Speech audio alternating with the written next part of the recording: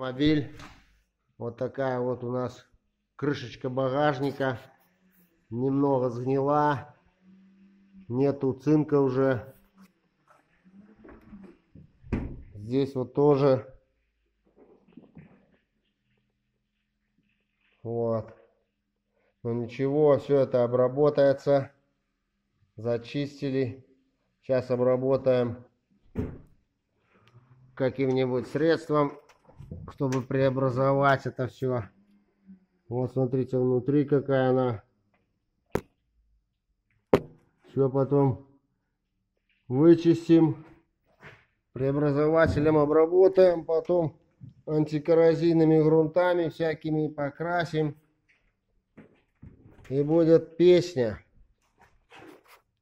Подписывайтесь, смотрите, как мы сделаем эту крышку, какой она станет у нас после покраски.